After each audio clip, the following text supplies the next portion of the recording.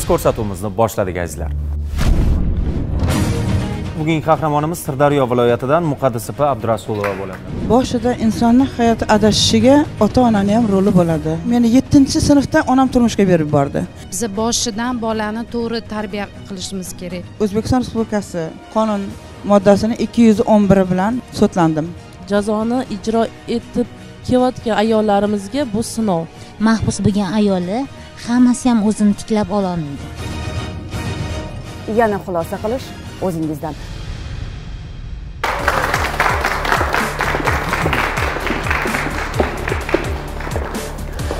Shukur bilan boshlangan kun naqadar go'zal. Shukur bilan boshlangan hayot naqadar baxtli deydilar. Assalomu alaykum sevimli hamda baxtlilar. Mahallada duv duv gap tok shousi efirda. Bugungi mavzuyimizni ham diqqat bilan tinglab eshitib o'zingiz xulosa chiqarasiz degan umiddamiz. Biz ko'rsatuvimizni boshladik azizlar. Bugungi qahramonimizni hayoti e, ayrim insonlarga saboq bo'ladi desak ko'pchilik bundan e, o'ziga bir kerakli hayotiy xulosani chiqaradi desak ham mubolag'a bo'lmaydi. E, bir judayam nima deydi? Ham achinarli ham bugungi kunda o'rnak olsa arziydigan bir qismatni bir taqdirni e, shunaqa kunlarini shunaqa vaqtlarni boshlaridan o'tkazganlar. Hozir uni biz gapirganimizdan ko'ra o'zlarini taklif qilsak o'zlaridan bir boshdan eshitsak yana undan keyin fikr mulohazalarimizni bildirsak menimcha o'rinli bo'lardi. Albatta. Mana shu bugungi qahramonimiz ham hayot yo'llarida juda yam ko'p adashdilar qoqildilar. Lekin mana shu sinovlarga bardosh berib yana qaytadan o'rinlaridan turib bugungi kunda jamiyatimizning faol a'zosiga aylanishga ulgurdilar. Keling ularni taklif etamiz. Demak kutib olamiz bugungi qahramonimiz sirdaryo viloyatidan muqaddis opa abdurasulova bo'ladilar muqaddis opa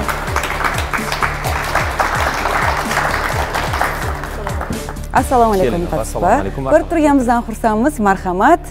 Studiyamizga mana. tashrif buyurganingizdan xursandmiz albatta. Avvalambor e, sizlarga sirdaryo viloyatidan sidqi dildan salomimni olib keldim. Boshida insonni hayoti adashishiga ota onani ham roli bo'ladi. Qandaydir? Mani onam ikki marta turmushga chiqqan. Ikkinchi birinchi oilasidan beshta ikkinchi oilasidan bitta men edim. E, birinchi oiladagi farzandlar kun bermagandan keyin meni yettinchi sinfda onam turmushga berib yubordi. Aytinglarchi yettinchi sinfdagi qiz qanday qilib turmushga chiqishi mumkin? Lekin majburiy turmushga berilganman. O'sha e, yettinchi sinfdan berilganman. Balog'at yoshiga yetmaganim uchun farzandlarim mana nogiron o'zim kesar va yo'li bilan farzand ko'rdim. Nechta farzandingiz ikkita o'g'lim bor. E, katta o'g'lim sakson ikkinchi yil kichkina o'g'lim sakson beshinchi yil. Buni ustiga o'sha turmushga chiqqandan keyin turmush o'rtog'im ham bolalarni bu ahvolini ko'rib ey endi nogiron tug'ar ekan deb bu ham tashlab bu ham ketib yubordi. Farzandlar o'zimga qoldi. Onam olamdan o'tdi. Aka ukani tayini yo'q uy joyida tayini yo'q ishda tayini yo'q. Nima qilish kerak? Oxiri o'sha uylik bo'laman deb jinoyatga qo'l urib o'zbekiston respublikasi qonun moddasini ikki yuz o'n biri bilan biri bilan sudlandim.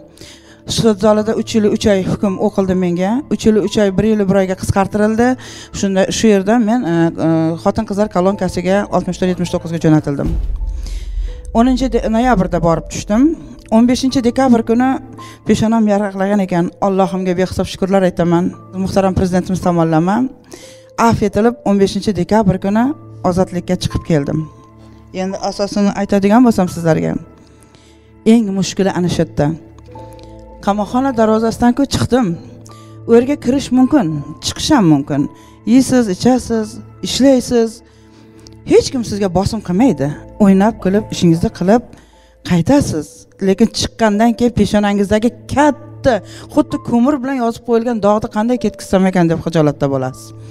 Darvozani oldiga chiqqanda meni qanday yashash emas. Endi qanday xalq kirib borish o'ylantirdi. Chunki qamalgan ayol degan gapni o'zi qanaqa inson bo'lmasa o'sha insonni bir cho'rchitib yuboradi e qamalgan ekanmi deydi. Qanaqa modda bilan o'tirganingiz u qiziqmaydi. E qamalibdida deydi. O'shandan sekin o'zini xalq chekkaga oladi. O'sha ayolga yaqinlashmaslikka shunga qo'shilmaslikka iloji bo'lsa maraka majlislarga ham qo'shmasa nimaga? Chunki e qamalganda deydi. Men chiqdim o'sha nima ostonaga chiqqanda o'tirib qoldimda bir tomondan prezidentimdan xursandman. Allohga shukur qilyapmanu. Bir tomondan na ish bor na uy bor na joy bor. Bolalar u yoqda sarson sargardon. Bolalaringiz kimni tarbiyasida edi siz yo'g'ingizda bolalarim уже uylangan edi men turmushga nima qamalgan paytimda ha uylanganmi? Uyi joyi bormidi ularni? Yo'q ularni uy joyi yo'q edi. Ular ham ijarada turgan edi. Uni ustiga men qamalib qoldim. O'sha uy joy qilaman deb shu jinoyatga qo'l urgandim men. Ya'ni birovdan birovga institutga kirgizaman deb o'rtaga tushib mana shu ahvolga tushdim haqiqiy olgan inson qochib ketdi javobini mana men berdim. Bu meni hozir aytayotgan so'zim ba'zi bir ayollarga endi hamma ayol deyolmaymanu ba'zi bir ayollarga shu dars bo'lsin degan nimada aytyapman. O'rnak bo'lsin. qamoqxona darvozasidan chiqib birinchi borgan joyingiz qayer bo'ldi? Hozir sizlarga aytsam e, siz ishonasiz nima deydi allohga chin e, bandaga yolg'on bo'lishi mumkin shunday chiqib ketyapman o'sha e, operativ chiqib menga aytyapti opa hozir siz to'g'ri sirdaryo viloyati oqoltin tuman ichki ishlarga borasiz. O'sha yerga ro'yxatga o'tasiz dedi. Rahmat dedim hujjatlarni oldim yo'lga chiqdim. Endi samarqanddan kelyapman. O'n yettinchi sovxoz sirdaryo viloyati oqoltin tumaniga kirib keldim. Kirib keldim. Ana endi haligi nima deydi o'sha ichki ishlar e, nimasiga yaqinlashyapman. Peshonamdan ter chiqib labim qurib ketyapti. Bu bo'lgan voqea. Men buni kitobimda ham yozdim. Ichkariga kirib boryapman. Ishonasizmi yo'qmi? E, nima navbatchi xodim keling opa keling deyapti. O'zimni qo'lga ololmayapmanda endi bu yerda meni nima kutyapti? Tamg'a bo'lmasa ham bir yo'lini qilasiz lekin tamg'a bilan yurish juda qiyin. Kimga qanday? Menga azob bo'ldi bu. Ichkariga keldik o'sha yerda navbatchiga aytdim men shunaqa keldim mana shu hujjat bilan shu tomondan kelganimni aytgan edim navbatchi hozir boshliqqa kirasiz dedi sirdaryo viloyati oqoltin tuman ichki ishlar boshlig'i sho'rqulov jasurbekni qabuliga olib kirdi. Endi eshik taqillatdim. Eshik taqillatganda ko'rsangiz qo'lim qaltirashini. Ichkaridan kiring degan ovoz keldida. Sekin eshikni ochib kirdim. Titrab qaltirab ichkariga kirganimni bilaman. E keling opa keling degandan keyin sal o'zimga keldim. Mehr bilan hurmat bilan yoshimni hurmatiga sochimni oqiga hurmat bilan kutdi kirdim. Keling opa o'tiring mana bu yerga. Kim adashmaydi? Olloh adashmaydi opa. Faqatgina ko'r ham hassasini bir marta yo'qotadi opa. Adash bir marta bo'lsinda ikki marta bo'lmasin. E o'tirganimdagi sal o'zimga keldim bemalol suhbat boshlandi. Opa nima gap? Nima bo'ldi? Nima qo'ydi? Oldin hammasini so'rab surishtirib o'tirib suhbat qilib bir piyola choy uzatib. Hech ham o'xshamaydida podpolkovnikka ko'rsangiz. Oddiy sodda. Bunaqa insonni ko'rgan ayol qaytib jinoyat qilmasligiga men kafil. Nima uchun? U mehr bilan gaplashyapti. Haligi nima deydi? Bosim yo'q baqirishlar yo'q. Bir muomalada gapiryaptida. O'rtoq boshliq desam unday demang. O'g'lim deng dedi. Nega boshliq deyapsiz? Endi siz ozod fuqarosiz o'g'lim deng o'g'lingiz tengliman dedi. Endi e, muammoga kelsak devdim muammo ish ham yo'q uy ham yo'q pul ham yo'q. Mana shu turishda keldimda. Unday demang. Prezidentki sizni mana shu darajaga olib chiqdimi? Biz albatta sizni qo'llab quvvatlaymiz opa. O'rnidan turdi e, formasini kiydi kostyumini tashqariga chiqavering hozir boramiz bir joyga dedi. Men tashqariga chiqdim qayerga dedim? Hokimiyatga dedi. Endi men o'ylabmanki hokimiyatga boraverib men ham boraman deb aytgan ma'noni tushundimda men boshliqni darvozaga yetib endi hokimiyat karobka burilayotsam mashinasi bilan chiqib e opa qayoqqa ketyapsiz? To'xtang deb o'zi roldan tushib podpolkovnik o'zidan roldan tushib orqa eshikni ochib onaxon mana bu yerga o'tiring deyapti. Qamalgan ayol uchun bu juda katta hurmat. Adashgan ayol uchun bu juda katta hurmatda. Rahmat dedim ko'zimda yosh bilan o'sha nimaga o'tirdim moshinaga o'tirdim. Moshinaga o'tirganimizdan keyin biz hokimiyatga bordik. Bu sirdaryo viloyat oqoltin tuman hokimligiga bordik. Fozilov dilmurodjon hokim boboni oldiga kirdik birgalikda. Kirdik kirgandan keyin oldin hokim bobo boshliq bilan yaxshi salom alik qildida keyin meni ko'rdi. Ye keling onaxon keling keling. Orqasidan o'tirdim men ham salom alik qildik. Jasurjon gap boshladi. Hokim bobo opamiz afv bo'lganlardan bittasi. Na uy bor na ish bor na pul bor. Endi opani qo'llash kerak. Prezidentimizki shunday ozodlikka chiqarib mana af beribdilar. Bu ham hammaga nasib emas dedi. Hokim bobo shunday qarab turdida albatta albatta bunga albatta yordam qilamiz. Shu yerda o'zida mayli umumiy yotoqxonadan bir xonali ajratilib menga berildi. Bironta kishini qo'shib yuboraymi borib yo'q dedi jasur. Man o'zim olib borib opani xonaga joylashtirib kelaman dedi. Hokim bobodan kalitni olib o'sha ko'rsatgan e, komendantidan kalitni olib jasur olib borib o'sha jasurbek hozir hozir ham men jasurbek deyishimdan hozir ham ko'p muloqotda bo'lamiz chunki o'zim jinoyatga qarshi maslahatchiman. Birga ishlaymiz birga ko'p nimalar ochamiz. O'sha borganimizda jasurni o'zi xonaga joylashtirib ketdi meni sherqulov polkovnikni podpolkovnik. Hokim bobo ham menga bitta gap aytdi. Muqaddas opa sizdan bitta iltimos. Man o'ylaymanki ayollarimiz ozodlikda yursin. Bizni o'zbek xalqiga yarashmaydi dedi. Ko'rsangizki boshim egilganini o'zimdan o'tganini o'zim bilaman. Endi men xursandman. Bolalarimga telefon qildim men chiqib keldim dedim. O'g'lim yig'lagan katta o'g'limni ikki marta operatsiya qildirganman. Hozirgi kunda ожирение kasalligi bor давление yurak kasali bor почечный недостаткasi bor. Kichkina o'g'limni ham e, grijasi bor yurak tug'ma yurak kasal. Hozirgi kunda qon bosimi bilan juda qiynaladi. Mana shu bolalarim bu bari sinov ollohdan olloh suyganiga dard beradi. Xonada o'tiribman oynaga qarab turib yig'laymanda chunki oynada deraza ortida panjara yo'q edi. Bu bilasizmi qanday baxt? Hech qaysi ayolga u yerlar nasib qilmasin. Hech qaysi ayolga. Bironta hatto dushmanimni dushmaniga ravo ko'rmaydigan joylar bor. Qarab o'ylanib tursam telefonim qo'ng'irog'i jiringlab qoldi. Ko'tarsam jasurbek muqaddas opa qayerdasiz? Ha xonadaman. E tez keling sizga ish topdik. E ana endi meni ko'rsat xursand bo'lganim shu taraqa taraq yugurdim. Yugurib yetib oldim ichki ishlarga. Kirdim. Kirsam muqaddas opa obadandan ish topdik. Ishlayver e dedim hojatxona tozalashga ham tayyorman. Qo'pol bo'lsa ham dedim. Ishlasam bo'ldi dedim. Obodanda ishladim. Bir oy o'tmadi уже tashakkurnoma oldim mehnatim uchun. Orqasidan yana tashakkurnoma oldim. O'sha tashakkurnoma olganimda hech esimdan chiqmaydi. O'sha mm, hokim bobo bilan o'sha ichki ishlar podpolkovnigi jasurjon kelib tashakkurnomani qo'llariga olib tabriklaymiz opa deb turib olib ketdida men aytdim bular nima olib ketdi ekan buni? desam ramkaga solib berib boribdi menga. Bu ham bir hurmat edi. Keyin e, yo'lda kelayotsam bir ayol kishi mm, qimmat opa degan e, bizda hozir deputat u kishi qimmatay degan ayol yo'lda kelayotgan ekan. E muqaddasxon yaxshimisiz deb yaxshi salomalik qildi. Rahmat yaxshi dedim. Tadbirkor bo'lmaysizmi dedi. Men shunda shu xotinga bir gap aytdim. Tadbirkor bo'lish uchun qamalmaslik kerak. Qamalganga qani ishonch? U tadbirkor bo'lish uchun kredit olish kerak kafil bo'lish kerak. Mana shu narsalar kim beradiyu meni kim meni tadbirkor qiladi dedi. Siz bir harakat qilib ko'ring. Harakatga baraka degan ollohim dedi. O'tib ketdi. Uyga kelib xonada o'tirib haqiqatdan ham shunday qilsamchi dedim. Taraqa turuq qilib yugurib yelib dokument hujjatlarni yig'dim kredit olish uchun. Yig'dim bordim. Bankgacha yetib oldimda qisqasi. Nima nimadan nima bo'lyapti? Muammo bo'lyapti hujjatlar ichida.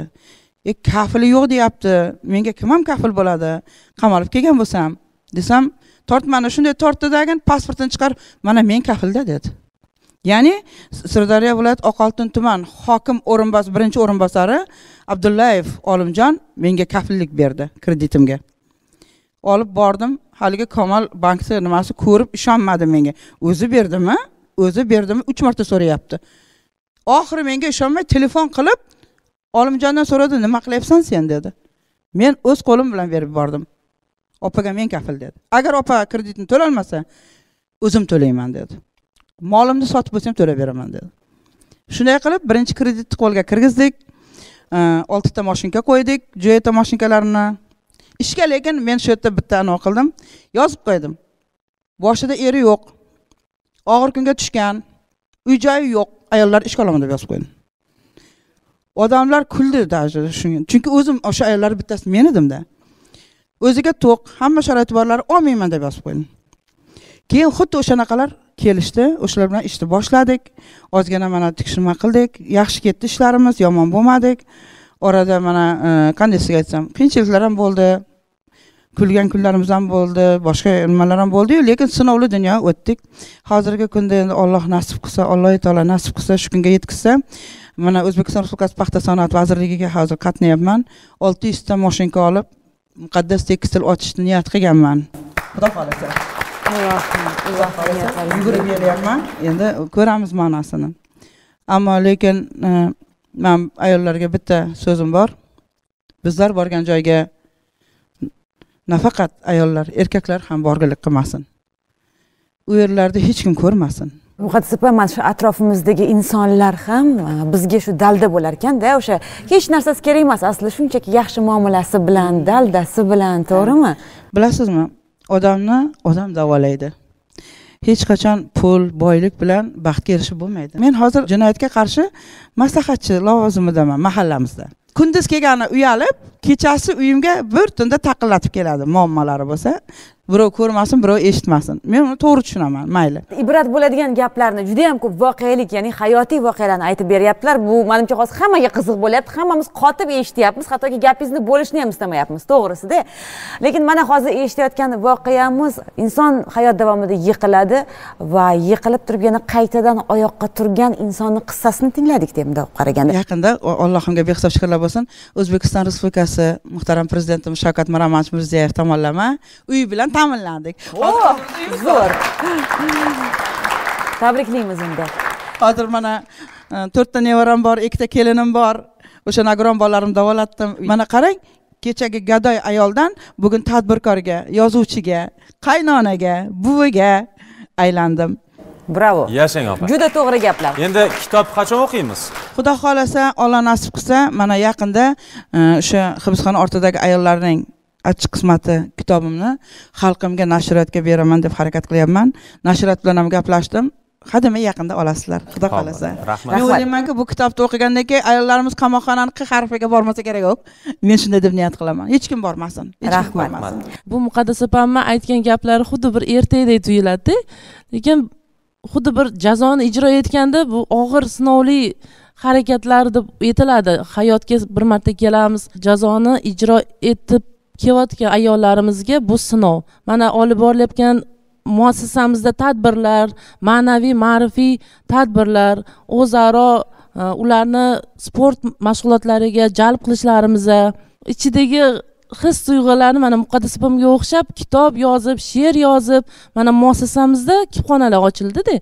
Yangi yangi kitoblar olib kelishyapti davlatimiz tomonidan berilgan kitoblar ayollarimiz kirib bemalol kitobdan foydalanishadi muqaddas opamga o'xshab kitob yozishadi she'rlar yozishadi uylariga xat yozadi ishlab chiqarish sex korxonalarimiz bor u yerda ayollarimiz tikishadi oyliklarini olib hattoki uydagi bolalariga jo'natadi. Qamoqxonada o'tirgan ayollar o'ylaydida bolalarim nima yeyapti nima ichyapti xuddi mana muqaddas opam o'ylagandekda o'shanaqa qilib ayollarimiz kun kechirishadi. Albatta hammamiz xato qilamiz lekin xatolarni vaqtida anglab yetib uni tuzatsak hammasi yana iziga tushar ekan. Mana bugungi qahramonimizni e, voqealari singari. Davom etamiz azizlar. Albatta jazo muddatini o'tab qaytgan ayollarimizni yana hayotga jamiyatga qaytarish ularni ish bilan ta'minlash borasida albatta e, mahalla instituti tomonidan ko'pgina ishlar amalga oshirilmoqda. Shunday emasmi hamza? Demak mahalla va oilani qo'llab quvvatlash vazirligi ijtimoiy himoyaga muhtoj oilalar bilan ishlash boshqarmasi bosh mutaxassisi nilufar opa komilova ham mana shu yerdalar adashmasam ular bizga ma'lumot berib o'tsalar. Prezidentimizning topshiriqlariga asosan ayollar daftarini yuritish ishlari olib borilgan. Mahalla fuqarolar yig'ini raislari bilan birgalikda o'rinbosarlari bilan birgalikda ishchi guruh tuzgan holda hokimliklar bilan hamma tashkilotlar bilan ishchi guruh qilgan tuzgan holda uyma uy yurib mana shu ayollarimizni xotin qizlarimizni muammolari o'rganilgan. Opamizni xabar bizani ham xabarimiz bor bu opamiz bilan ham biz gaplashganmiz bu ayollarimizni opamizdagi ayollarimiz juda ko'pligini biz shunda bildik. Uy yurish orqali. Rahmat sizga opa. endi nafaqat mahalla fuqarolar yig'inlari balki ular bilan birgalikda hamkorlikda bugungi kunda e, shu mahkum ayollarimizni ish bilan ta'minlash ularni to'g'ri yo'lga solishda e, siyosiy partiyalar ham e, menimcha hamkorlikda ish olib boryapti. Adolat opa fikrlaringizni eshitaylik. Boshidan agar e'tibor bergan bo'lsak bular tug'ilganlaridan boshlab hayotlari qanaqa davom etganini aytib o'tdilar. Biz har bir e, o'sha muammoni kelib chiqishini ildizi ildiziga qaraydigan bo'lsak mana bu ta'lim tarbiyaga siz o'sha oilangizdagi muhitga bog'liq deb aytdingiz. Bu e, nafaqat studiyadagi balki respublika bo'yicha har bir oilaga bu o'rnak bo'lishi kerak. Biza boshidan bolani to'g'ri tarbiya qilishimiz kerak.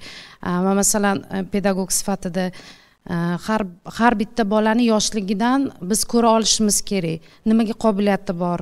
Nima xohlaydi bola? Ayniqsa e, ko'pincha e'tibor bergan bo'lsak mana o'zingiz ham o'sha koloniyada ko'rgan bo'lsangiz ko'pincha noqobil oilada e, tarbiya ko'rganlarda mana shunaqa holat kuzatiladi. Agar sizni yoshligingizda hayotingiz shunaqa bo'lmaganda sizdan yaxshigina rahbar chiqardi. Man hozir sizda shuni ko'rdim. Mendan yurist chiqaradi. Undan- orzum yurist edi Undan tashqari yozuvchi ko'rdim man sizda. Chunki o'sha yerdagi aytib turibsiz masalan har bitta ayolni lider liderlik borda bularda bilinyapti ko'p savol berib ularga o'sha anaqani yozib bordim deyapsizda bu tabiiylik ham e, haq- haqiqiy bir shoirlarga beriladi deb o'ylayman. Ko'pincha ani bo'rttirib yozishadi. E, hayotimizda har xil shoirlar bor yozuvchilar bor. Masalan ular ko'nglingiz olmasin xafa bo'lmasin ular siz ko'rgan qiyinchilik qiyinchilikni ko'rmasdan turib e, bo'rttirib yozishadi. Siz haqiqiy o'sha qiyinchilikni ko'rib turib o'sha yerdan siz asfaltni xuddi yorib chiqqan gulga o'xshaysiz. Man shunga o'xshatdim sizni. Minnatdorman. Har bitta sizni bosgan hayotingiz bizga hozir o'rnak bo'ldi. Undan tashqari mana siz hayotingizda uchragan insonlar rahbarlar mutasaddi xodimlar bu ham bizga o'rnak bo'lishi kerak. Chunki sizni oldingizga kelgan e, o'zini muammosi bilan kelgan fuqaro bilmaysiz qaysi joyda turibdi u. U mana sizni hayotingiz shunday tub burilishiga ana o'sha jasur aka podpolkovnik dedingiz. Shular sababchi bo'ldilar. Agar yigirma minutlik suhbatda o'shalar sizga shunaqa dalda bermaganlarida sizni hayotingiz butkul yana chap tomonga burilib ketgan bo'lardi. Bekorga aytilmaydi jaholatga qarshi ma'rifat degan gap bu bekorga emas. Mas- iloyim hamma sizga o'xshagan bo'lsin. bo'lsin. Rahmat kattakon. Bir kun bir kelinchak eshigini taqillatdi eshikni ochsam ko'zlari ishib ketgan yig'lagan. Judayam chiroyli kelinchak. O'zim qo'limda ishlaydi. Er men aytdim kel kel dedim. Endi ismini aytmayman. Ha opa sizga keldim. Ha bitta qizchasi bor. U befarzand kelinchak to'qqiz yil farzand ko'rmadi lekin bolalar uyidan olib qizchasini shunday katta qilganki haligi bolalar uyidan olgan bola ham haligi onaga o'xshab qolgan ko'rsangiz. Xuddiki o'zi tuqqanday xudoni ishida bu. Shu qizimni sizga topshirmoqchiman. E nimaga topshirasan? Yo bo'lmasa onamga berasiz. Nimaga? A men ishim bor bir joyga ketyapman. Shu qizim sizda qolsin deydi. Men aytdim onalari bor aka ukalari bor nega menga tashlab ketyapti? Ha bo'pti dedim qizchani o'tkazdim. Yuragim sezdi. Odamni yuragi sezadi. Ayolni orqasidan tushdim. Qizchani qo'shniga topshirdimda o'zim o'sha kelinchakni orqasidan tushdim. Yo'lda ketib boryapti. Bizda hozir mana shu suv toshqinidan keyin katta stroykalar ketyapti. O'zlaringiz xabarlaringiz bor. Hech kim yashamaydigan stroykaga haligi kelinchak kirib ketdi. Men bu yerda nima bor bunga deyman. Orqasidan men ham kirdim. U уже arqonni tayyorlab dorni tayyorlab kelgan kelinchak ekan.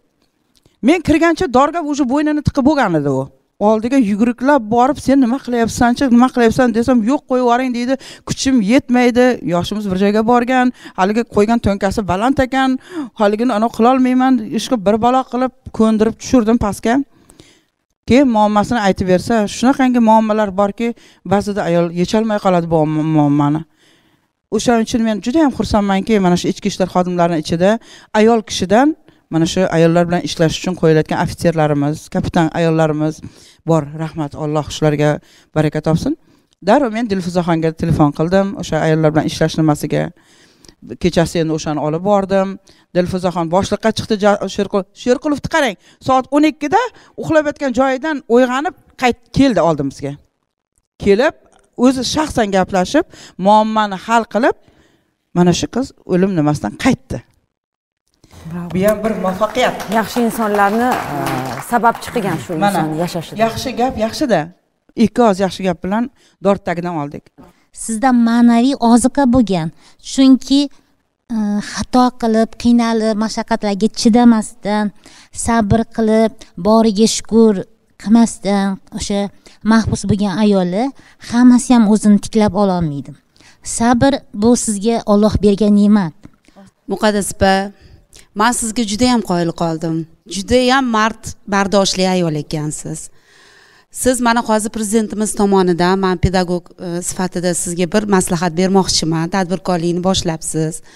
Prezidentimiz tomonidan bizga hozir bolalar uchun xususiy bog'chalar ochishga oilaviy bog'chalar ochishga hozir ruxsat berildi o'zingiz aytyapsiz man yaqinda psixologlikni o'qib bitiraman sizdan zo'r psixolog chiqadi rahmat manda yillar davomida psixolog vakant keling sizni ishga olaman ana ana yana bir bog'chalar ochib bolalarni tarbiyasi bilan shug'ullanib sizni tarbiyangiz judayam judayam shu bolalar uchun kerak. Sizni maslahatlaringiz psixolog maslahatlari man o'zim shu yerda o'tirib maza qildim. Sizni maslahatlaringizga ham gapirib berayotgan hayotiy tajribalari chunki bizada maktabgacha ta'limda psixolog ham pedagoglar bilan ham ota onalar bilan ham bolalar bilan ishlash kerak. Chunki e, ishda har xil holatlar bo'ladi har xil sharoitlar bo'ladi. Psixolog birinchi o'rinda sizni kelgi kelajakda boshlagan ishlaringizga omad tilayman. Yanayam yanayam e, shu mana shu o'zbekistonimizga ko'zda ko'rinadigan e, tadbirkor bo'lishingizga katta katta zafarlar tilayman.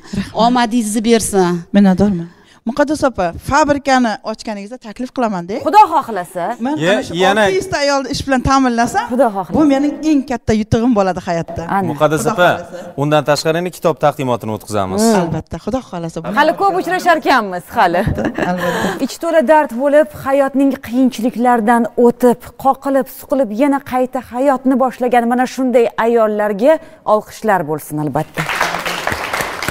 Rahmat va o'rnak bo'ladigan hikoyani tingladik nafaqat bu ayoldan ayollar balki ba'zi bir erkaklar ham kerak bo'lsa o'rnak olsa arziydigan ayol. Qancha hurmat qilsak qancha olqishlasak qancha e, bulardan o'rgansak arziydigan ayol. Sog' bo'ling muqaddas opa Rahmat, umringiz uzoq bo'lsin. Sizga salomatlik tilaymiz. O'zingiz aytgandek fabrikani ochilishi kitob taqdimotlarini ham birga o'tkazamiz. alloh shukrlarni yaratsin. Rahmat sizga. Azizlar haqiqiy og'riqni satrlar ifoda eta olmaydi deydilar uni ko'z qarashi lablarni titrashi bilan bilib olishimiz mumkin. Aslo yozilmaydi uni yozib bo'lmaydi.